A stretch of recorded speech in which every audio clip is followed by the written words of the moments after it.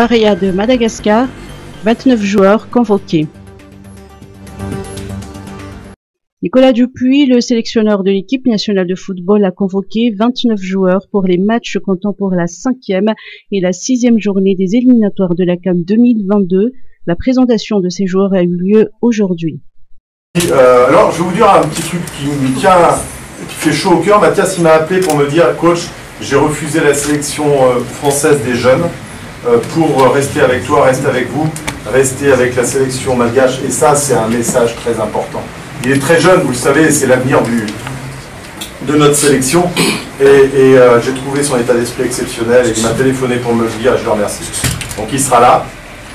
Nina, que j'ai vu jouer deux fois depuis euh, quelques temps, là, et qui toujours m'impressionne un peu, et il a encore beaucoup de travail à effectuer, mais il est vraiment très bon, et sur les rassemblements, à chaque fois, il progresse. Donc il sera là aussi. Dabo, qui sera le quatrième gardien. On va avoir quatre gardiens, on ne sait jamais ce qui peut nous arriver. Et en pleine forme, alors il était blessé, une petite blessure il y a un mois, une petite micro-déchirure, mais ça va beaucoup mieux. Il s'entraîne très fort avec Saint-Pierre. Et euh, je l'ai eu au téléphone, on a beaucoup discuté. Et euh, il est très motivé à l'idée de venir. Les meilleurs joueront. Voilà. Maintenant les joueurs. Alors Jérémy euh, sera là, je l'ai eu avant-hier. Alors c'est sûr qu'il est blessé actuellement, mais sa reprise est en cours. Et ça va beaucoup mieux, il n'a plus de douleur déjà. Et il sera là euh, pour les deux matchs importants. Et heureusement qu'il sera là, parce qu'on a besoin de ce joueur-là. Comme de tous les autres d'ailleurs. Théodin, j'ai vu trois fois depuis le début, là, et, je trouve toujours aussi solide. Alors, je trouve, alors, c'est une petite aparté que je fais, un peu moins solide quand on joue à trois derrière, comme Fous joue actuellement. Et quand il joue à deux, je trouve bon. Et, il, a déjà, euh, il est déjà intervenu dans le groupe euh, avec nous. Et à chaque fois, il a été bon, et lui aussi mérite d'être là. Alors Jérôme, lui, euh, fait une très belle saison, et vous le savez, avec, euh, avec Grenoble, il était premier euh, fin décembre, là ça va un tout petit peu moins bien, mais il peut encore se battre pour la montée, et il sera là. Silvio, lui, est à fond au niveau, je sais, j'ai suivi ses deux dernières performances, il est très bien actuellement capable de jouer à droite ou à gauche, vous le savez, au poste de latéral, et il est très bien actuellement dans son championnat, qui a repris. Pascal, alors même, euh, même remarque pour euh, Dabo, il est à Saint-Pierre, donc je sais qu'ils s'entraînent très dur, ils font beaucoup de matchs amicaux entre eux, mais le championnat n'a pas encore pris, mais ça va reprendre bientôt.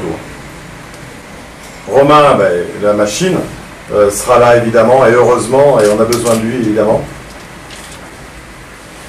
Alors, j'ai découvert, j'avais déjà découvert dans l'équipe Chan ou, Kosafa, mais Chan, et, j'ai redécouvert en le voyant jouer l'autre jour, je trouve que c'est un joueur en devenir, et qui peut encore progresser, il a besoin d'intégrer le groupe.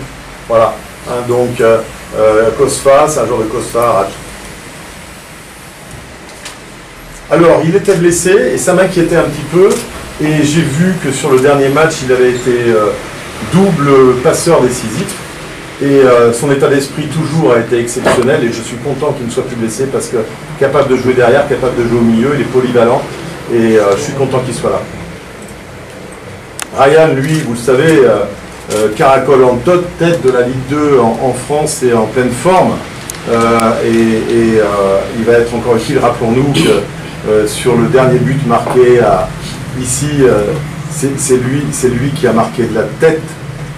non, il y a eu le dernier à mais, mais c'est lui qui avait marqué de la tête contre l'Éthiopie, justement. Abel, que j'ai tous les jours quasiment au téléphone, lui est en pleine forme aussi, et surtout, surtout, il y a un chat noir qui le suit parce que l'avant-dernière fois euh, blessé, la dernière fois Covid, et là il se protège, je lui ai dit écoute tu te protèges, tu te protèges, il faut que tu sois là. Il est très très très motivé, notre nouveau capitaine. Ah, Ibrahim. Ibrahim donc qui vient de re-signer, comme vous le savez, il y a un mois environ euh, au Qatar, et tout va bien pour lui, et heureusement que lui aussi va être là, et j'espère qu'il va nous ressortir une, une frappe dont il a le secret. Marco a repris euh, les terrains et est titulaire depuis déjà deux matchs à nouveau euh, avec Charleroi alors qu'il était quatre fois sur le banc avant. Donc il n'y a aucune notion de blessure à son niveau, tout va très bien.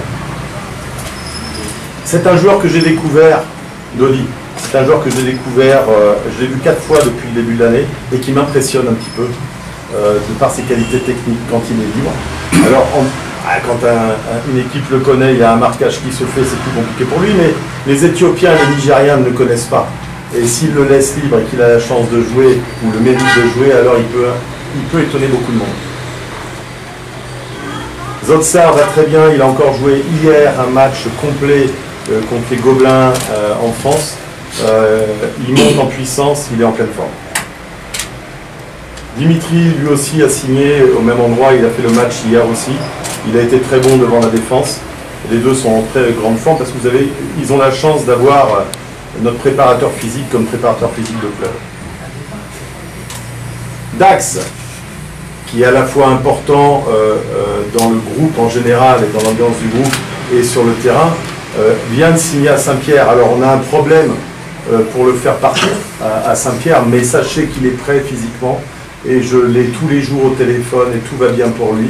Et il a de l'importance dans le groupe, en dehors et sur le terrain.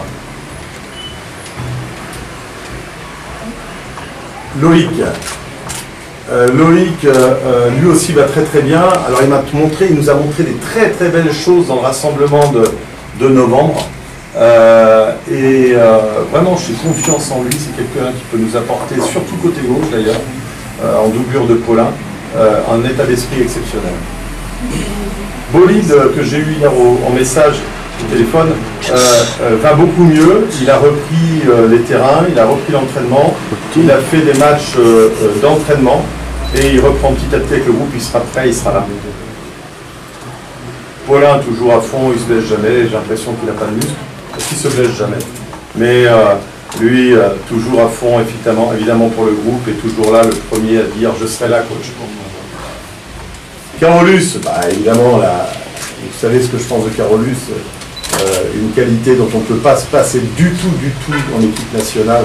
Euh, assez exceptionnel. Donc euh, je suis très heureux qu'il puisse venir surtout qu'il ne se blesse pas avant, le match.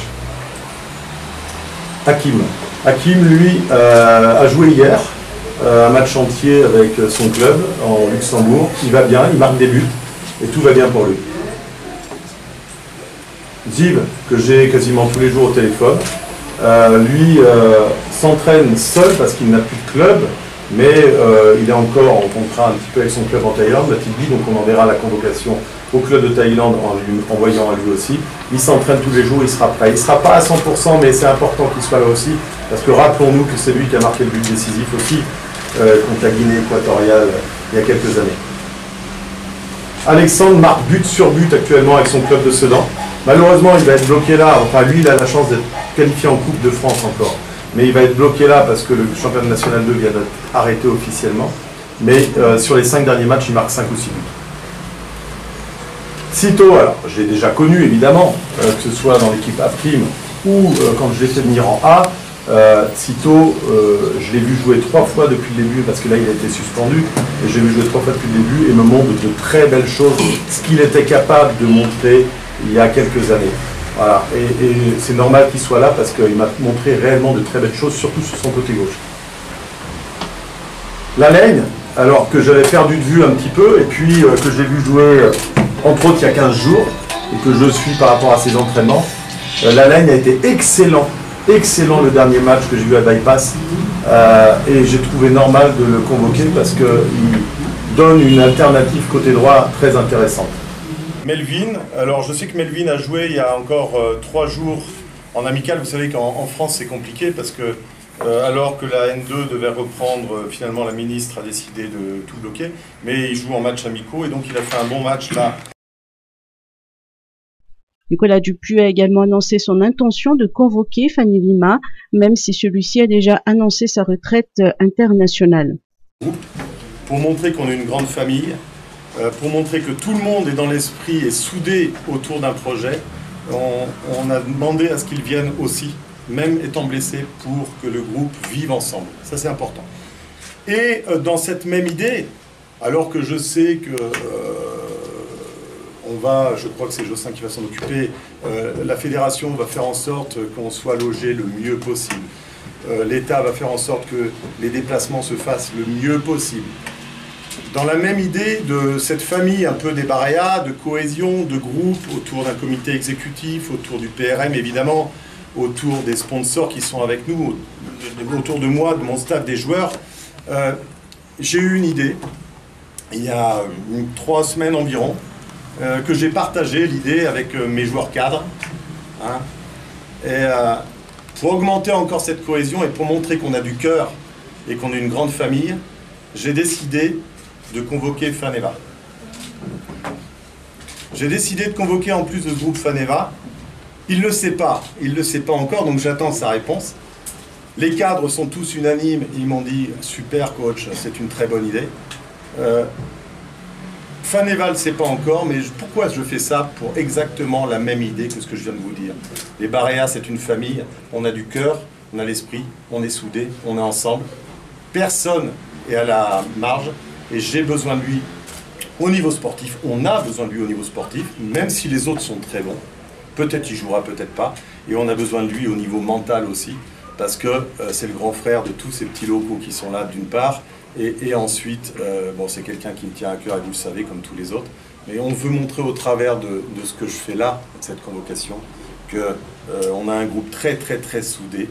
Et, que même s'il y a des, des choses qui vont contre nous, euh, on veut montrer qu'on est ensemble. Voilà, donc je convoque et puis on attend sa réponse. Voilà. Le match opposant les Baréas de Madagascar à l'antilope éthiopien se tiendra finalement le 24 mars à Bahirdar au lieu du 27 mars annoncé auparavant. La rencontre de l'équipe malgache avec le MENA du Niger est maintenue pour le 30 mars prochain au stade Barikadim à Tomassi.